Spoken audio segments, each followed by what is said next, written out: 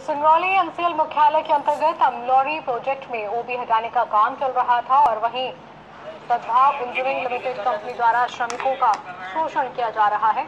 श्रमिकों ने अपनी समस्याओं को लेकर सिंगरौली भाजपा के लोकप्रिय मंडल अध्यक्ष प्रवीण तिवारी और मंडल महामंत्री विनोद कुरुवंशी को अवगत करवाया। इस मामले में श्रमिकों ने कहा कि कंपनी का काम जल्द ही खत्म होने जा रहा है, लेकिन कंपनी द्वारा 2016-17 के बोनस का भुगतान नहीं किया गया है। कंपनी मैनेजमेंट द्वारा 25 मार्च तक का समय लेते हुए कहा गया कि जल्द ही इस समस्या का हल किया जाएगा। हम लोग आज सद्भाव कंपनी अमलोरी में वर्करों के साथ आज काम बंद किए। वर्करों ने जो मांग एक महीने पहले मैनेजमेंट के सामने रखी थी। उस विषय पे मैनेजमेंट ने वर्करों से कोई चर्चा नहीं की। इसलिए आज वर्करों को काम बंद करना पड़ा।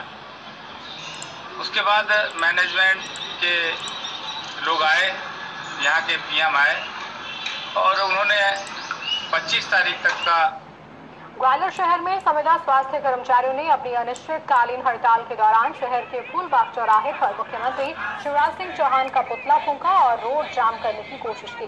शहर भर से आए सैकड़ों कर्मचारियों ने एकत्रित होकर चेतावनी दी कि अगर उन्हें नमित नहीं किया गया तो वो आने वाले विधानसभा चुनाव में भाजपा के खिलाफ रहेंगे।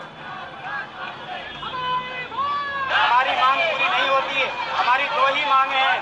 संविदा स्वास्थ्य कर्मचारियों को नियमित किया जाए